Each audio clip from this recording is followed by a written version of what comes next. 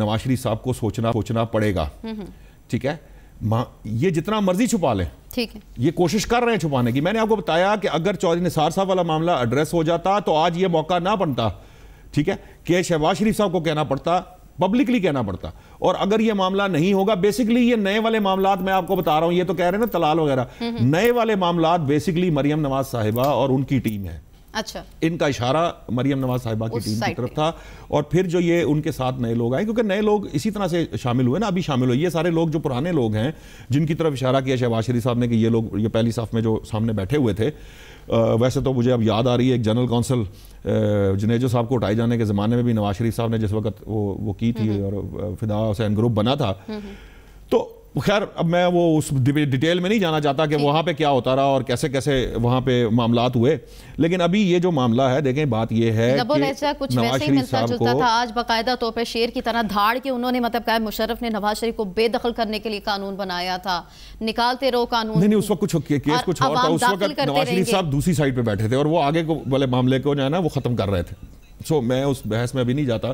وہ تو نواز شریف صاحب نے معاملہ ابھی ان کے کنٹرول میں ہے وہ پارٹی کے صدر منتخب ہو چکے ہیں۔ وہ یہ سمجھتے ہیں کہ یہ جمہوریت ہے۔ چلیں ان کی جنرل کونسل بھی یہ سمجھتی ہے ان کے لیڈران بھی یہ سمجھتے ہیں جمہوریت ہے۔ تو ہم مان لیتے ہیں ٹھیک ہے وہ صدر رکھنا چاہتے ہیں ان کو رکھ لیں کوئی اور نہیں بہتر لگتا ہے۔ اس میں کوئی وہ نہیں ہے ہم مان لیتے ہیں جمہوریت اسی چیز کا نام اکثریت کی رائے ہے ان کی پارٹی کی رائے ہے۔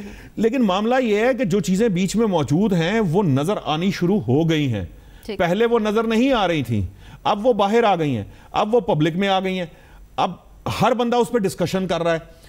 معاملہ یہ ہے کہ شہباز شریف صاحب باہر تھا وہ بھی اس طرح سے چیزوں کو نہیں کر پائے جس طرح سے ایکسپیکٹ کیا جاتا تھا ان سے کہ وہ کر لیں گے۔ پھر وہ پارٹی ٹوٹنے کی بات آئی وہ بھی ٹھیک ہے وہ درست ثابت نہیں ہوئی۔ لیکن یہ بات نواز شریف صاحب کو سوچنی چاہیے کہ وہ جو پرانے لیڈرز خاص طور پہ جب بھائی ایک سائڈ پر ہوں جی۔ اور ان کے بھی آگے سے اولادیں ہیں ان کے معاملات ہیں تو جتنی عقل مندی یہ ہے کہ نواز شریف صاحب جب الیکٹ ہو کر آئے تو انہوں نے یہ یہ موٹو دیا اور یہ بات کی کہ جی ہماری پارٹی میں نوجوان نسل کو بھی آگے آنا چاہیے ان کو بھی جگہ ملنی چاہیے تو یہ بھی سمجھنا چاہیے کہ پھر باقی لوگ جو جو ناراض ہیں ان کو بھی ساتھ لے کے چلنا ہے ان کے بھی گریوینسز دور کرنے ہیں۔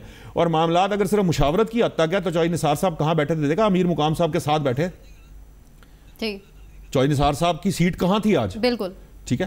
سو یہ جو چیز ہے یہ پرابلمٹک ہوتی ہے۔ آپ کو آج لگ رہا ہوتا ہے کہ چیزیں جو ہیں وہ کنٹرول میں ہیں لیکن جب چیزیں کنٹرول پراپر طریقے سے نہ کی جائے اندر اگر خلیج رہے جی۔ اور اندر اگر معاملہ رہے تو پھر پرابلمز ہونی ہی ہونی ہوتی ہے بالکل اندر پرابلم ہونی ہونی ہوتی ہے مطلب جس طریقے سے آج جنرل کونسل کے اجلاس میں شعر و شاعری کی زبان میں کہا گیا اور باقاعدہ طور پہ شکوہ کیا گیا مرال اپ کرنے کی بات کی مطلب کہیں نہ کہیں اندر کوئی نہ کوئی اختلافات کچھ معاملات ضرور موجود جی یقیناً دیکھیں شہباز شریف صاحب نے پوری ایک نظم پڑھ کے سنائی۔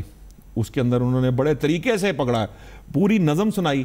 پھر سعد رفیق صاحب نے اس کو جواب دینے کی کوشش کی۔ اچھا۔ ٹھیک ہے؟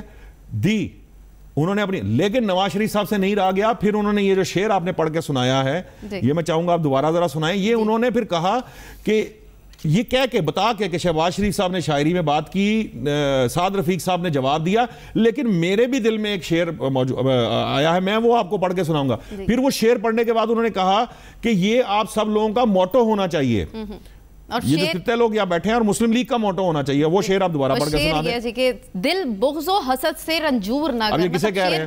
شیر سنایا اور ساتھ میں اس کے بعد انہوں نے کسے کہہ رہے ہیں؟ آپ کو کیا لگتا ہے کس کو کہہ رہے ہیں؟ جب شہباز شریف نے صاحب نے شاعری کی اور سعد رفیق نے جواب بھی دے دیا تو اس کے بعد یہ کس کو کہہ رہے ہیں؟ کس کو آپ بتا دیا آگے چلے ٹھیک ہے۔ یہ نور خدا ہے اسے بے نور نہ کر۔ آگے۔ اس کے بعد ہے جی نا اہل و کمینے کی خوشامت نا اہل کا ورڈ آیا تو میں پریشان ہو گیا تھا۔ ویسے شیر سنتے ساتھ ہی۔ خیر ٹھیک ہے۔ جنت بھی ملے تجھ کو تو منظور نہ کر۔ ہاں ان کا مقصد یہ تھا انہوں نے یہ انہوں نے یہ ان لوگوں کے لیے کہا جن کی جو ان کے خیال میں کسی سازش کا حصہ تھے۔ کیونکہ ان کے خیال میں ان کے خلاف چونکہ ایک سازش ہوئی ہے اور اس سازش کے تحت ان کو ان کو وزارت عظمہ سے ہٹایا گیا ہے تو اس لیے انہوں نے یہ ان لوگوں کے لیے بارے میں کہا کیونکہ شہباز شریف نے جو شکوہ کیا کہ آپ مشاورت نہیں کرتے تو شہباز شریف صاحب نے جن کی مشاورت کی بات کی جو عہدے اور گاڑی کے لیے آپ کو غلط مشورے دیتے رہے تو انہوں نے کہا ان سے بغض و صدر رکھ۔ ٹھیک۔ ٹھیک ہے؟ سو مقصد یہ ہے اس ساری شعر و شاعری کے اندر یہ شاعری بھی ہوئی شعروں کے درمیان شاعری ہوئی۔ نواز شریف صاحب نے کہا نا شعروں کی اور شاعری کی محفل۔ لیکن اس محفل نے عام آدمی کو بہت کچھ بتا دیا۔ سارا کچھ عیاں کر دیا۔ اور جس تک بات پہنچانی تھی وہاں تک بھی بات پہنچ گئی شعر و شاعری کی زبان۔ سو معاملہ کیا دیکھیں معاملہ یہ ہے یہ تو اب بات ہوئی اس حد تک۔ لیکن اس کے بعد جو ہے نا اصل بات یہ ہے کہ اس سارے سیاسی کھیل میں دراصل نقصان کس کا ہو رہا ہے؟ ملک کا اور قوم کا۔ ملک کو کام کرنا سلطنت کی بھی بات نہیں کر رہا۔ یہ میں قوم اور ملک کی بات کر رہا ہوں۔ سلطنت کی بات میں بعد میں کروں گا کسی وقت وقت آئے گا۔ مجھے نظر آ رہا ہے کہ وہ وقت آنے والا ہے۔